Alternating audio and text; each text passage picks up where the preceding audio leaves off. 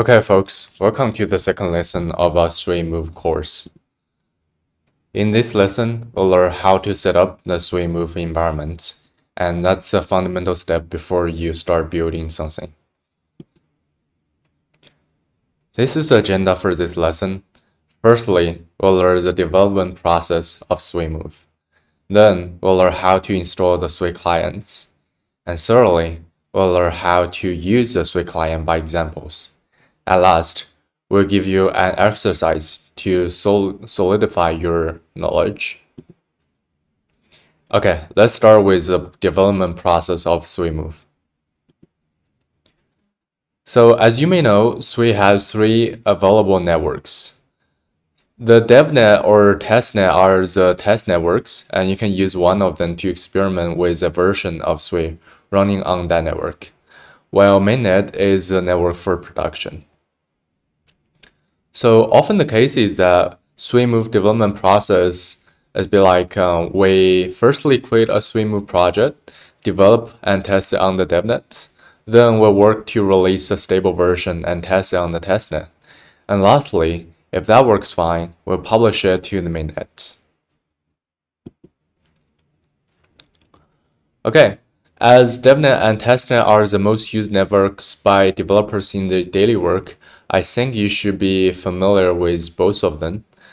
So the testnet and devnet network consist of four validator nodes operated by the Mysten Labs, and also a public network Sui Explorer for browsing transaction history, and nodes for the nodes. Clients can send transaction and read requests via this endpoint right here. And the Sui network version can either be the DevNet or the testnet. Okay, so oftentimes you use the Sui client tool to create a project and do something. And it is a binary program called Sui, which is a Rust-based program. It provides several useful subcommands such as creating a Move project, creating a Sui account, building a Move project, publishing a Move module, and calling on-chain Move functions, etc., etc. And the suggested development process like, uh, firstly, you create project, write and test Move modules, then you publish it and call Move modules on the DevNet. Then you verify and fix issues if anything happens. And after that, you're going to publish and call move modules on the testnet. And pretty much the same, you're going to verify and fix issues here. And finally, if everything goes fine, then you're going to publish the move modules on the mainnet. And yeah, that's it.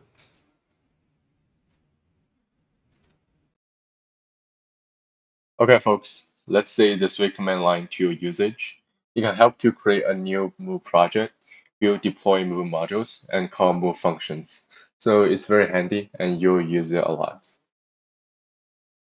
So let's begin to create a Move project. It's a Hello World project. And you can basically copy the commands here to create a new project here. And since we have already created a new empty project, and we will just open it. Okay, yeah, so that's uh, move.toml file. Um, this toml file has several sections and we'll explain them one by one. So first of all is the package section. It contains the name and also the version of the module. And secondly is the dependency section. So the dependency section is optional. The only dependency here is the Sui framework. A dependency record should include Git repository, the path to the directory, which containing the move.toml and also the commit uh, git commit hash. And finally is uh, address uh, section, which is also optional. So we often define the name address here and give the value zero times zero. And while de deploying the module, it will be replaced to the active address.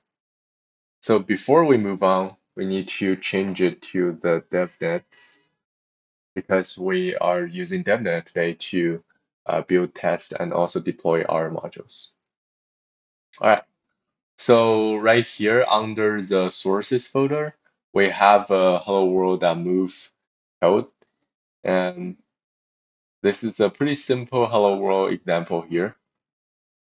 So basically we have the imports which uh, imports uh, the library and then the hello world object which is an object which has the ID and also the key. And finally, this is a pretty simple main function, which just creates a hello world object. And this one has a string hello world. And then transfer the object to the uh, sender, which is also the contract deployer. Okay, so as we have the code here, we're gonna try to build it. So let's type Sui move build to compile the uh, this module. So firstly, you will update the Git dependencies, then you will download the dependencies, and finally we'll finish the compiling. So that means it successfully compiles the module. All right, we'll also try the Sui move test if you have any test codes. So pretty similarly, we'll update the Git dependency, download the dependency, build it, and finally it should test the test codes. Because currently this uh, project is newly created, so we don't have any tests yet. So that's why we have zero test. Okay. Now we're gonna try to publish to the DevNet, but before that, we're gonna connect to the Sui client. So let's type uh, clients. So it shows the command that the configure file doesn't exist yet. Do you want to connect to a full node server? We type yes. And default to the Sui DevNet, select zero for the key scheme. Okay, so after successful execution, you will just create a a client client uh, YAML file, also the Sui key store file. So let's try to find it. So cd dot Sui Sui config. All right, didn't have. Okay, so as you can see here, so we have the client uh, YAML file, which is uh, the file that records the configs, and also the Sui uh, key store, which records the private key of the current account. Nice. Now we'll try to use the environment commands to see our uh, address and also our objects. So let's type Sui clients and yeah, so it just shows up the network endpoints and tells which is active. Then we'll type Sui client active address. And this shows up the active address of ours. Then we'll type Sui client object. So this one will show the objects under an account address, which is this address. So let's wait a bit. Uh, because this environment is nearly set up, so the account has no object so far. That's why it doesn't print out anything except for this warning. Okay, so we have already connected to the Sui client. Now it's time to publish our module on chain. But before we do that, we need to request some test coins because you know in blockchain everything pays. So there's there's several ways you can request uh, the gas tokens from the faucet, such as you can request the test tokens through Discord, or you can request test tokens through wallets, and you can do something like this. So we're gonna use this method here.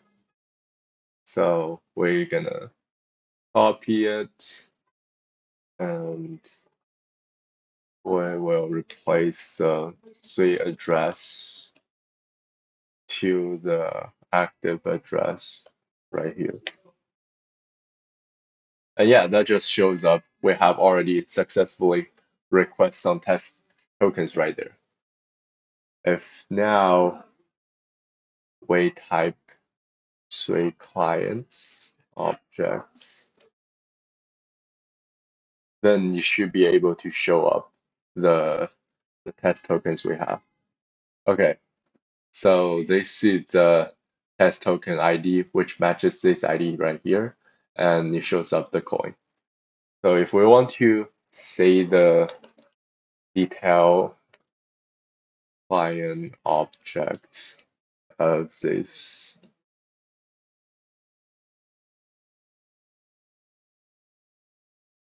So yeah, if we want to see the detailed information of an object, we can just call the uh, client object with the object ID, which is the, the ID here. And it just shows up the detailed information. So this is the amount and the object ID right here. And it also shows up the type of the object ID, the Sui coin. So perfect. Okay, let's now try to publish the module we just created on chain. So firstly, I'll uh, I'll get the address, the absolute address of my module. It should be desktop flow row. All right, so that's my module address. We will use Sui clients uh, publish and copy this address right here and use a gas budget. Uh, the gas budget is just the amount of tokens we just got. All right. So it will firstly update the dependencies and compiles again. And then, yeah, so this result is pretty long, but is simply, in a simple words, it just means we have successfully published our uh, modules on chain. Let's explain them one by one. So as you can see here, the first section is a transaction digest, in which we can get the transaction hash. And the second section is the transaction data, so it dumps the raw transaction data. The transaction data shows the detailed transaction information, such as the sender, which is, I believe, our uh, address, uh, address transaction data. Yeah, which is our address right there. And then says uh, uh, some other information like the gas owner, gas price, and also the gas budget. We'll just input it. Then it's the transaction effects. So the transaction effects section shows the status of this transaction and the operation on the object ID. This transaction creates two objects. One of them is a mutable object start with the 0 times E9E blah blah blah, and which is the package ID. And the second object is a gas object. And finally, as uh, object changes. So the object changes section gives more detailed information about the objects. The transaction published the object, as you can see here, it says published uh, with uh, package ID 0 times 1BA, blah, blah, blah. So this is the package ID of the object, and it's consistent to the transaction effect section. And finally is uh, balance changes. So it, it just says like um, we use this much tokens to publish our module on chain. Okay, so we have published our module on chain. Let's try to call the functions. We're gonna use Sui client uh, or package and with the package ID, I think should be this one. And the module with the module name of hello world and function because we just have the mint function, so that's the only callable function we have. Gas budget. Let's use a gas budget of this amount, but with two less zeros because we just use some of the gas tokens here. Okay. All right. So so yeah, we have successfully called the the mint function of our publish module. So other than the object changes, other thing is pretty much the same, but let's say here it says uh, detailed information of the object. So uh, it says we have create an object which is a hello world hello world object under the module hello world, and then under the uh, our published package right there. All right, nice. So we have build test the module and we also publish on chain.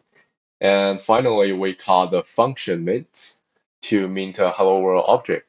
Now it's time to view our object on the Explorer. All right, I'm gonna copy the object ID here. Okay, so this one is a Sui Explorer.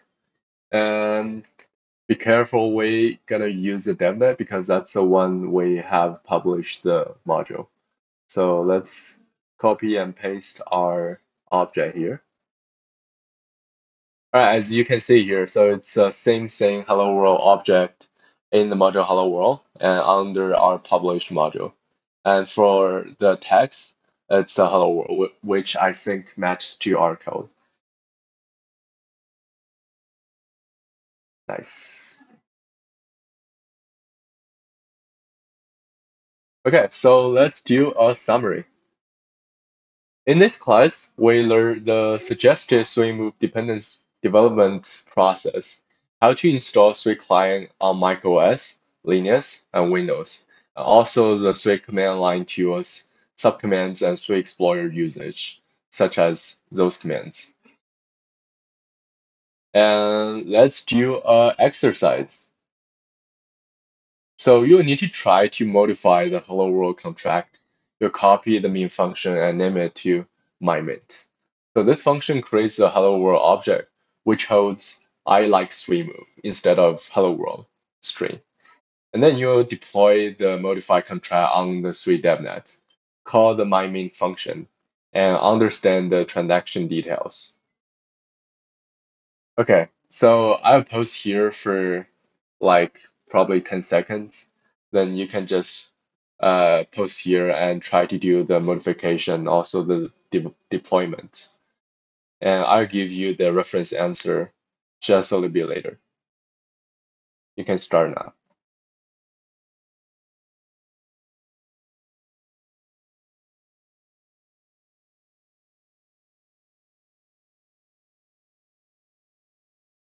All right, so here is the exercise reference answer. So as you can see here, we have the public entry function mymint. So the mymint function just uh, create the same hello world object except for the string being replaced to I like move, And then you just transfer the object to the deployer. And then you will also call the Sui client publish uh, to publish on chain, then call the mymint function just as we did before. Okay, so that's the end of this class, and I hope you enjoy it too. I'll see you next time.